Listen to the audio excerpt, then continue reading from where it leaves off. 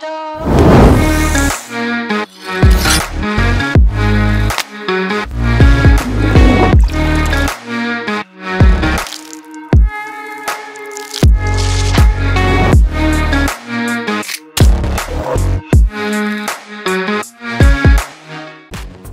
Willkommen zu Oberösterreich kocht. Schön, dass Sie mit dabei sind. Es kocht für Sie einer der beliebtesten und bekanntesten Köche Österreichs, Dominik Süß.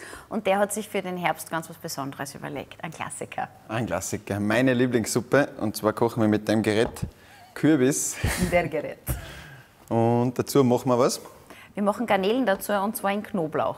Genau.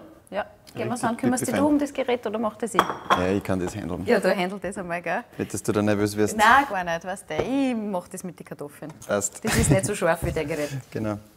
So, warum tue ich die Kartoffel jetzt schön für die Suppe? Na, du Kartoffeln haue ich immer in jede Suppe rein. Äh, für eine Stärke, eine natürliche Bindung drinnen. Ja. Ein super Geschmack sowieso.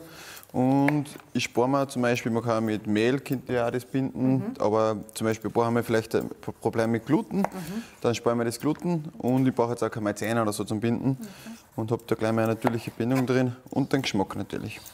So, da haben wir jetzt, da nimmst du die Schale weg. Bei manchen Kürbissen kann man die Schale dran lassen, bei manchen eben nicht.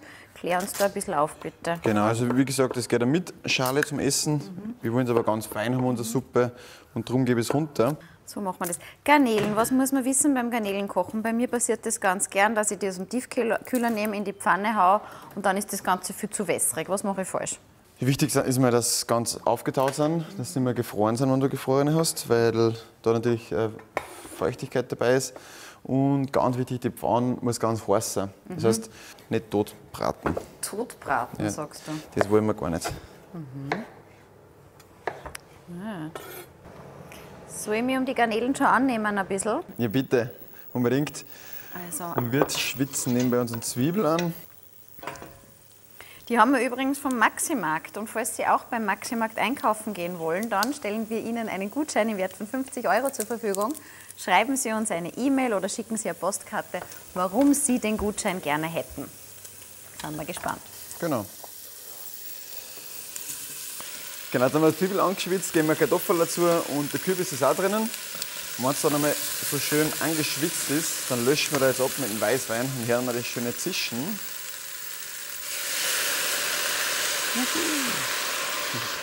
Der Schluck ist für dich. Du Gönner! Komplett. Du Gönner! Gut, das haben wir. Die sind jetzt geschält und bereit für die Pfanne. Ich werde dir dann auch noch ein bisschen Chili schneiden, wenn das recht ist. Cool, perfekt. Petersilie können wir auch noch hacken. Okay.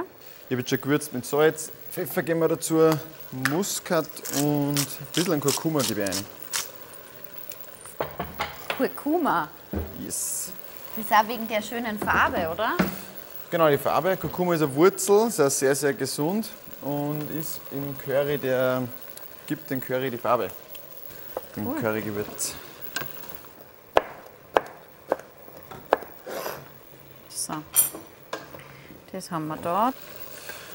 So, wenn jetzt der Wein dann verkocht ist, dann haben wir aufgießen ähm, mit unserem Kürbisfahr, was wir da haben. Und wir haben auch einmal eine Rindsuppe. Nehmen jetzt beides zum Aufgießen und dann lassen wir das eben verkochen da, da drinnen. Und ja.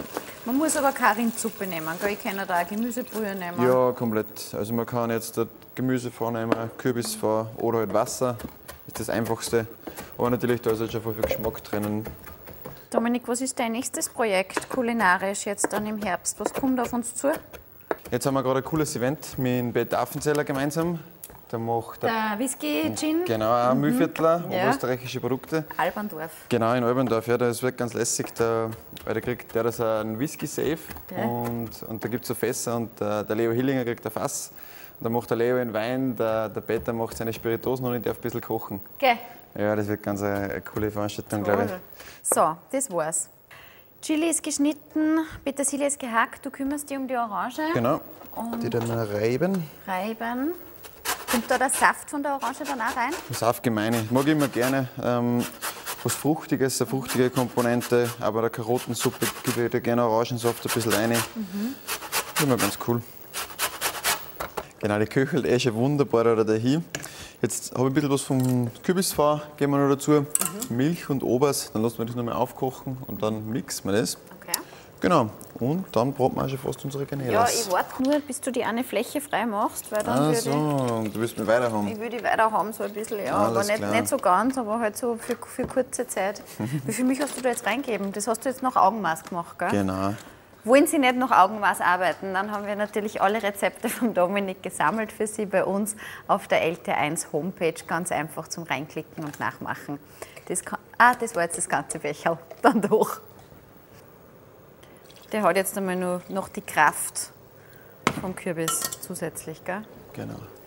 Das lassen wir aufkochen. Das lassen wir mal aufkochen. Darf ich das zur Seite stellen? Ja, perfekt. Weil dann würde ich mir da die Da Garnelenpfanne schmeißen schauen. wir jetzt ein bisschen Orangensaft dazu. Da, ist ein bisschen da. Weißt du, was wir machen? Hm? Wir machen unser Bier zwischendurch auf. So machen wir es. So genau. machen wir das nämlich. Ich hätte jetzt für dich ein Merzen. Märzenbier. Merzen aus dem Innviertel, Raschhofer. Uh, Und Raschofe du ist sagst cool. mir gleich, was du rausschmeckst und dann sage ich dir, was du rausschmecken sollst. Okay. Ein Test. Bist bereit? Wie früher. Bist du nicht eh Biersommelier und so weiter? Genau, ja. Ich habe in die Ausbildung zum Biersommelier gemacht. Gut, schau her. Super. Ich mache die Mädchenvariante, gell? Dann tun wir da so den Rest einschenken. Und jetzt sagst du mir, was du schmeckst. Äh, leichte Zitrusaromen, angenehme Hopfennote. Ja, Zitrus bist sehr richtig. Und Apfel soll man da angeblich Apfel? auch noch rausschmecken. Okay. Deswegen haben wir gedacht, ist das so eine gute Kombination mit Voll der cool, ja. Kürbiscremesuppe. Voll Mhm. Von dir weg war da eine Option, gell? Jetzt mixen wir das da schnell, dann schaut das pipi fein aus und dann verkosten wir es. Gut. Das ist wirklich ein Flugzeug, jetzt pass auf.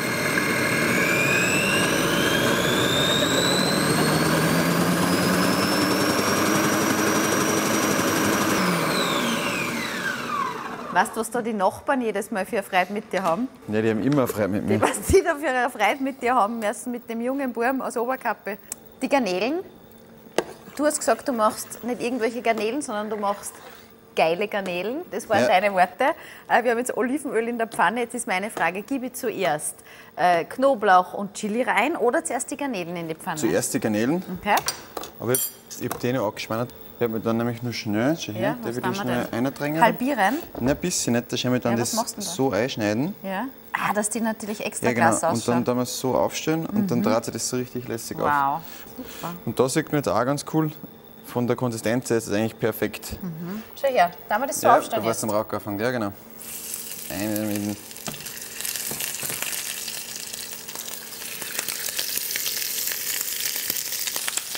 Perfekt. Passt. Kriegst du jetzt richtig scharf anbraten. Ja. Salz und Pfeffer drauf.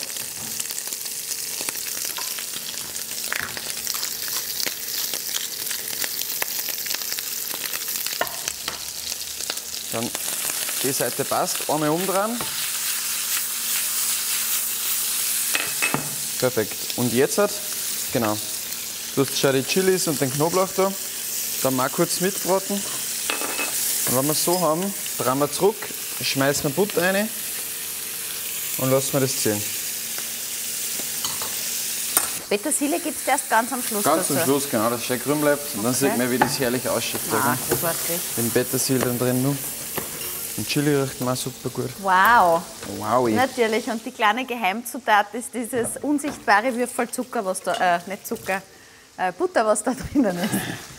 Ja, man kann nie genug Butter Nein, haben. das hast du völlig recht. Gell? Das schaut richtig gut aus. So, bitteschön. Super, danke, das ist ganz lieb. Und auch bei der Suppe, die tun wir jetzt nochmal aufschäumen. Ich mag das so gerne und das ein herrlicher Schaum ist. Magst du unseren Sehern sagen, was der Trick ist, dass man diesen tollen Schaum kriegt? Genau. Bitte. Wir haben dazu gegeben Milch und dazu gegeben Oberst, zu gleichen Teilen eigentlich. Und die Butter ist das Wichtigste.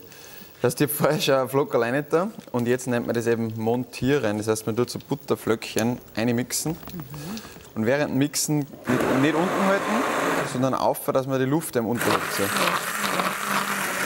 Und dann sieht man schon so einen richtig, richtig schönen, sexy Schaum. Kannst du reinschmeißen. Das letzte auch noch bitte.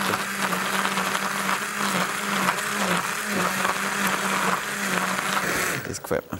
Wow! Gell? Na da, da schau her. Du hast auch noch so ein Kürbiskernöl mitgenommen. Genau, das tun wir oben dann drauf als Topping. Sehr gut. Garnelen, siehst du, pipi fein, die sind jetzt nicht zu Tode gebra- gebraten, sondern die sind nur leicht glasig, genauso sollen sie auch. Und die tun wir jetzt außer auf Papier und dann geht es zum Anrichten. Yeah. Da hat sich der Dominik wieder was Besonderes überlegt. Für alle, die zu Hause das natürlich besonders eindrucksvoll servieren wollen. So kleine Spießchen, die kann man überall kaufen und du wirst die da jetzt aufgefächert haben. Genau, gell? ich würde Gibt es da einen zwei Trick? Stück Ja, zeig einmal. Doch so vielleicht, schaut das ganz cool aus, miteinander irgendwie. So. Passt, die macht Genau. das. Und dann kann man auch die Luftblasen ein bisschen zerstören wieder, aber nur ein bisschen, dass man so ganz kleine, feinporige hat. Und da bin ich echt verliebt in einen Schaum. Bist du verliebt in den Schaum? Mhm. Schau her, da die Garnelchens, denen geht's auch gut. Oder so. Silvia sagt, dass die wird das schmecken. Ja. Dann machen wir ein Kernöl drauf, oder? ja. Dekoration. Kürbiskerne gegen Eimer, die kann man immer anrösten. Und dann legen wir uns unseren Garnelenspieß da noch drauf. Und dann kannst du gerne probieren. Darf ich? Sicher. Mit unserem Bier, oder? Dann sage ich Prost noch mal. Danke Passt. dir. Passt, passt, passt. Zu Ihnen nach Hause auch Mahlzeit. Mahlzeit und macht euch das super noch jetzt im Herbst. Das ist wirklich richtig gut. Probier's mal. Es ist sicher hervorragend. Der Schaum allein ist schon gut wert. Stimme da zur Garnele, aber. Oh mein Gott, das ist hervorragend. ja, und die Säure macht es natürlich auch, das ist ein Wahnsinn.